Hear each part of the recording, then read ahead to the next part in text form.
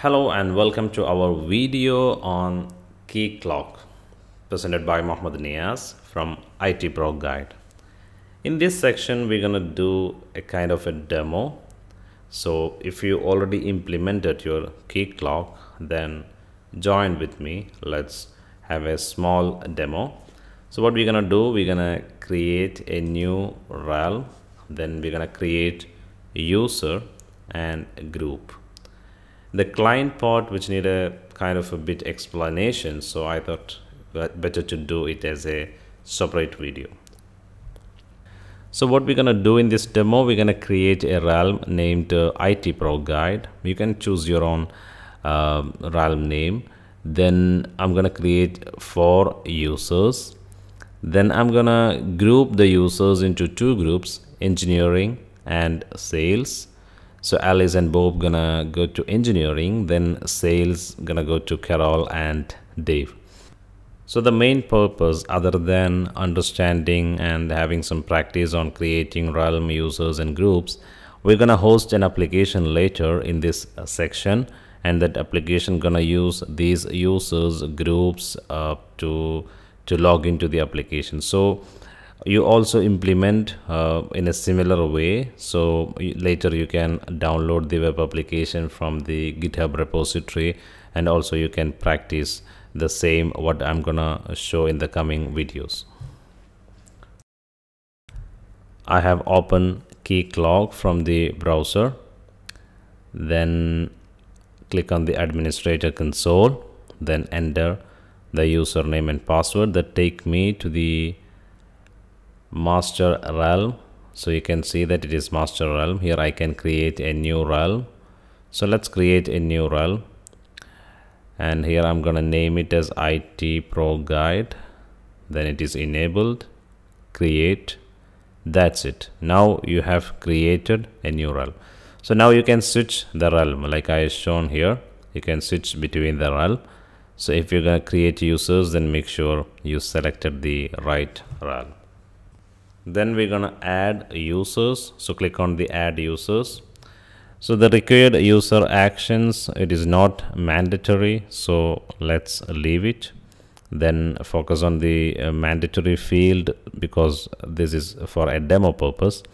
So username i'm gonna put one of the user that i display that is alice. Then let's put a dummy uh, email value. So this email doesn't exist then you can enable that this email verified. Uh, for example uh, if you don't have an email verification option uh, if you're practicing it then it's always okay like to tick from your side email verified. Then put the first name and last name. So just for me to identify that this user belongs to engineering group i'm just gonna put the last name also as engineer just to uh, or make sure that I will not mess up with multiple users and groups. So the user has created then you can see you have an option to set password from the credentials. So there you can uh, set password. So what you did you created a user with the minimum uh, attributes. Then you also set password. Then I leave it as permanent. Uh, so that's why I off the temporary option. So I have a user then I also give a credential then I have role mapping groups concerns uh, sessions a lot of details other. So let's add other users also. You can also uh, practice the same. So I have four users to create. So I'm gonna add user Bob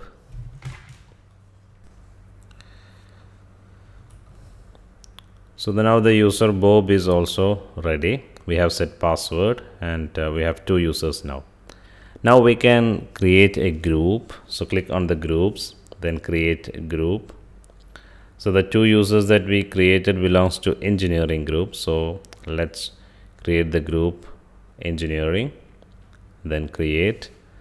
Then you can add these users that you created to this uh, engineer group so you can see members is now empty. You can add member.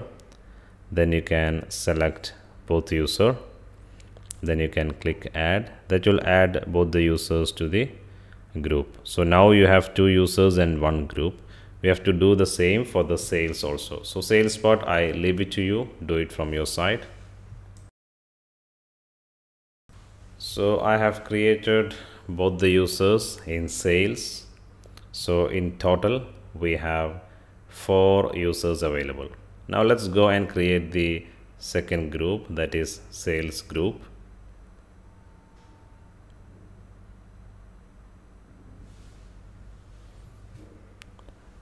Then click on create. Now the group is ready. Now you can add members from here.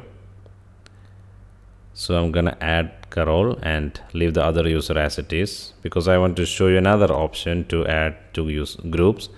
For example you can go to users then click on the user. Then you can go to groups inside the user. Then also you can join. So this is another option. So now we have two groups and four users in our Keycloak under the new realm that we created that is IT Pro Guide. So that is it. Thank you for watching this video. In the coming video we're gonna see what is client, what are the configuration options available. Then we need to host a web application and see how these users can be authenticated for that web application using our Keycloak and the new realm that we created. Thank you for watching. See you in the next video